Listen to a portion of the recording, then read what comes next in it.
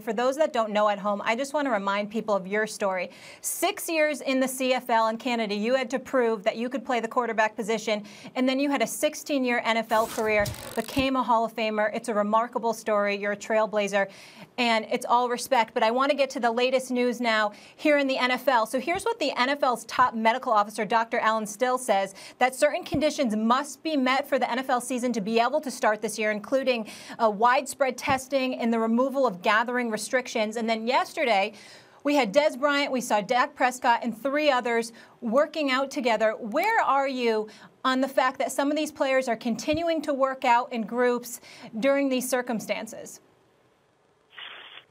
You know, it's definitely a risk for for players to get together and do that, but it, it all depends on how they're handling the rest of their lives. If, if they're at home and if they're being isolated and making sure they're staying away from from other people, and the only time that that those groups of people are together is when they're together, then maybe it's not as big a risk but uh, you definitely are taking a risk because you never know who somebody else might have been associated with, and they could have picked up the virus. So yeah, it, it's a risk for these players to do that. I understand why they want to do it because they're trying to work at their craft, but as long as they're staying uh, very, very careful in what they're doing and how they get together. Um, that's something they're going to continue to do, and it's happening all over the league. It's not just that group of guys you saw. Warren Moon, Stephen A. here. Thank you so much for being on the show. What would you suggest, ideally, uh, players can and should do in order to keep themselves in peak condition in order to be ready for a potential NFL season? Because by all indications, uh, if you're listening to the NFL, we're going to have one. Yeah, there's a, uh, there's some players that have the uh, opportunity to have gyms. Like when I was playing, I had a gym in my home. I had a uh, kind of an acreage, so I could I could use my whole property to, to run around if I needed to, and, and and have a trainer come and work me out. But every player doesn't have that type of uh, accessibility. So uh, I think the the best thing they can do is when they do get together with a trainer or whatever, try and limit the number of guys that are there. They they try and say that you shouldn't have any more than six people together at one time. If you can do something like that and still get your workouts in, still try and and practice the social distancing even when you're together as a group working out. I, I think you're you're making it less risky to do it. Uh, Warren Max Kellerman, great to have you on the show. Always great to talk to you.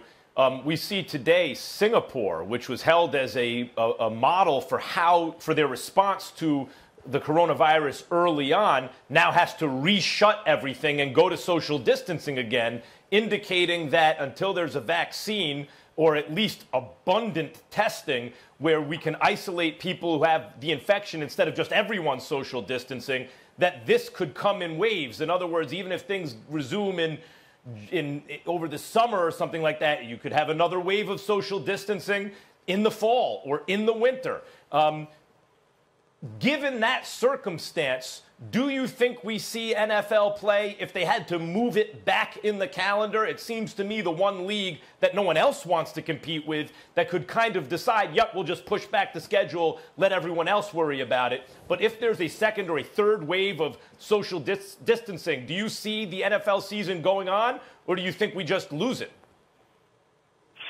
You know, Max, there's just so many uncertainties right now. We're, we're dealing in uncharted waters, and, and this virus is something that uh, it doesn't have any favorites. It goes after any and every one all over this, uh, all over the world. Uh, so we're going to have to go off of what uh, what the medical experts say and, and how how much this uh, disease is is progressing. Uh, are we getting it under control? All those different things, and we won't know that until time goes by. We're, we're still kind of in the infancy stages of the uh, of the disease here in this country. You know, we've only been dealing with it now for maybe about a, a month or so. So I, I think it's going to take a little bit more time before we see, as the testing gets going, how how much we're getting it under control and, and how well we'll be able to plan for the future. But I think all these businesses, all these multi-billion dollar businesses, they have to plan as if things are going to go on. Now, if things change within that time, then you have to make changes and adjust. But there's no question they want to go ahead and, and, and plan like they're going to maybe play a season this year based off of what they know now. Thanks for watching ESPN on YouTube. For live streaming sports and premium content, subscribe to ESPN Plus.